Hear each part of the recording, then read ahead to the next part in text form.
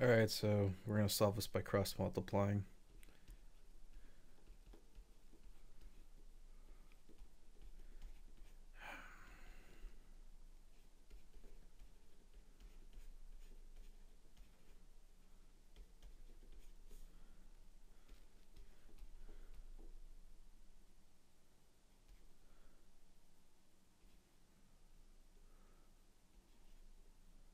Oops.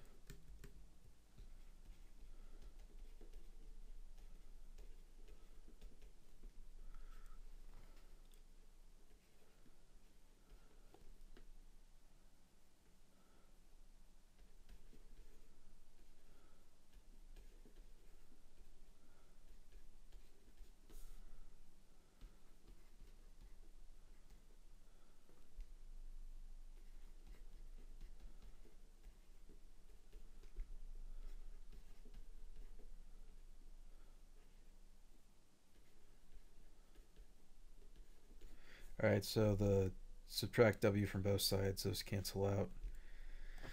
Um, I'm just going to add 58w to the left side and subtract 35. So what I'm left here with this is 9, 31. 139w is equal to um,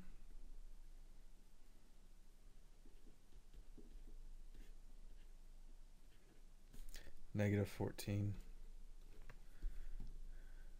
All right, and finally what we get is we divide both sides by 139. And we get W is equal to negative 14 over 139. This is it.